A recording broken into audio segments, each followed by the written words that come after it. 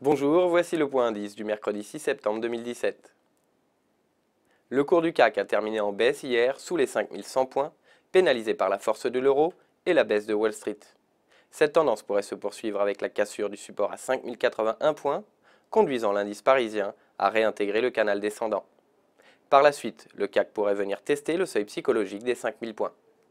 Retrouvez-nous dès 11h pour le Market Live et dès demain pour d'autres analyses.